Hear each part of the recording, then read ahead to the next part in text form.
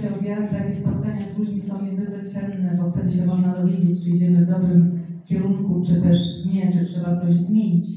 Kiedy w roku 2015 spotykaliśmy się z Polakami w całej Polsce, usłyszeliśmy od nich, czego im potrzeba i powstały nasze programy społeczne skierowane absolutnie do wszystkich. Nie dzieliliśmy ludzi na tych, którzy są naszymi zwolennikami i nie, tylko uznaliśmy, że Polacy to jest jeden naród, bez względu na to, gdzie żyją, czym się zajmują, jakie mają poglądy, zasługują na to, żeby mieć takie same możliwości startu, rozwijania swoich umiejętności, zdolności, pracy.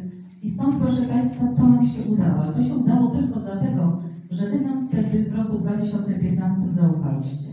I myślę, że się nic z Państwa nie zjawił, ponieważ, jak to również nasi przeciwnicy czasami mówili, zdarzyła się władza, która to, co obiecała, to wykonała. Nawet gdybyśmy zerknęli na program z roku 2015, to zrobiliśmy znacznie więcej niż to, co obiecywaliśmy. Potem przyszedł rok 2019. Państwo zaufaliście nam po raz kolejny. Wygraliśmy wybory, przejęliśmy stery władzy i zaczęliśmy ruszać do przodu, bo naszym głównym celem było to, żeby Polacy, którzy przecież mają tak bogatą historię, tyle wycierpieli walcząc o wolność, niepodległość, o własne państwo, samodzielny byt, II wojny światowej, najokrutniejszej z ponieśli tak ogromne straty i materialne, ale przede wszystkim ludnościowe. Straciliśmy inteligencję, czyli to serce polskiego narodu, że ci Polacy, którzy walczyli na frontach II wojny światowej wszędzie, na całym świecie,